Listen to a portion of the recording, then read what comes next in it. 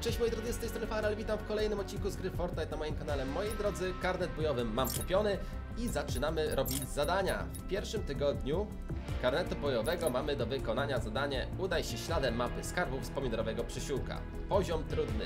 W tym odcinku właśnie pokażę Wam, gdzie znajduje się ta lokalizacja.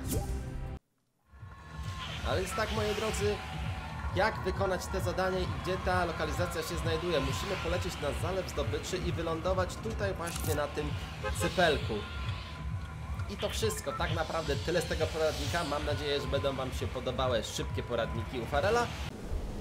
Odpalamy naszą paralotnię i... Czekajcie, gdzie jest Farel? Tutaj i lądujemy na tej właśnie łódeczce. To się znajduje dokładnie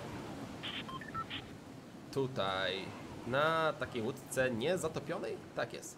Uwaga, hopsa i mamy pierwszy punkt. Wow, wow, wow, wow, wow.